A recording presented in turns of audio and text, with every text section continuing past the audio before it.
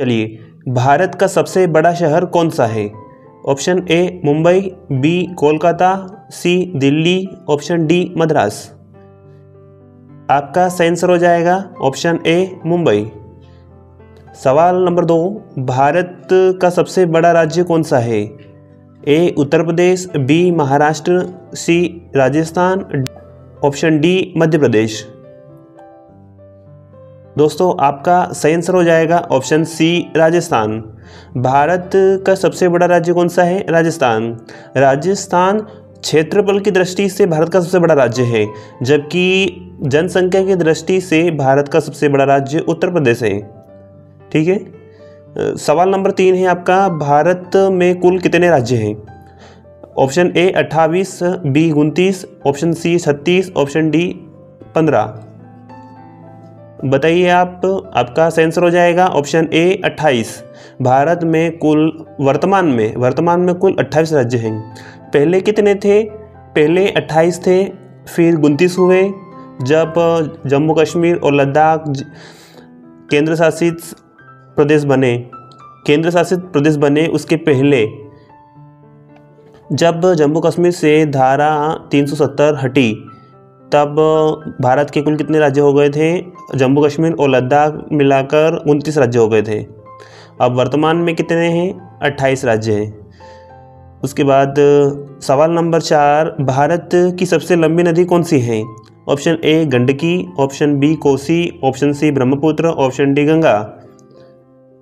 आपका सही जवाब हो जाएगा ऑप्शन डी गंगा। भारत की सबसे लंबी नदी और पवित्र नदी कौन सी है? गंगा नदी। दोस्तों, गंगा नदी का मैंने वीडियो बनाया है और गंगा नदी के बारे में मैंने चार पाँच वीडियो बनाए हैं। उनमें पूरी कंप्लीट प्रोसेस मैंने बताई है। तो स्टडी पॉइंट सिक्स चैनल को आप सब्सक्राइब कर लें और उन सारे वीडियो को आप देख लें। बहुत ही अच्छी तरीके से मैंने समझाया है। और सवाल नंबर पाँच है हमारा, भारत की सबसे चौड़ी नदी कौन सी है?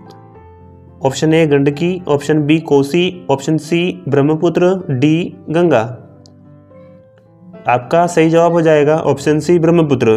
अगर बात की जाए लंबी नदी की, भारत की सबसे बड़ी लंबी नदी कौन सी है? तो वो है गंगा नदी।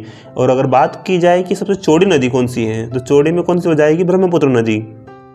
ठीक है, उसके बाद सवाल नंबर छः भारत की सबसे ऊँची मीनार कौन सी है? सवाल काफ़ी इम्पोर्टेंट है। एग्ज़ाम में पूछा जा सकता है और पूछा भी गया है।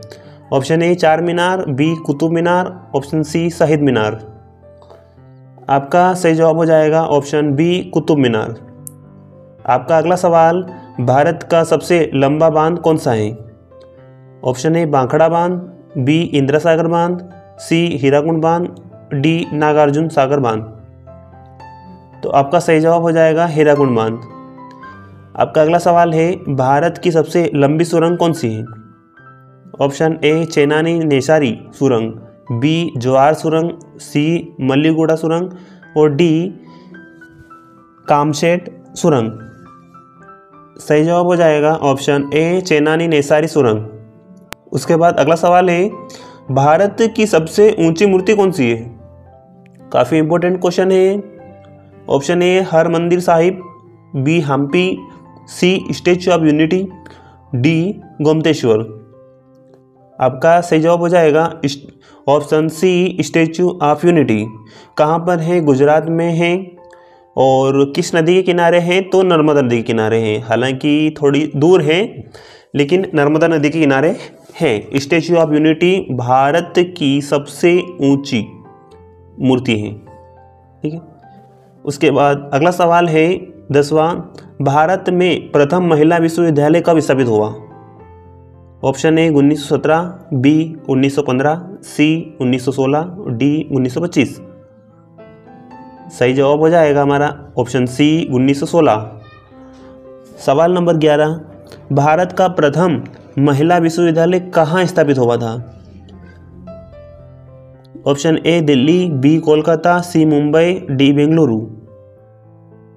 हमारा सही जवाब हो जाएगा ऑप्शन सी, मुंबई।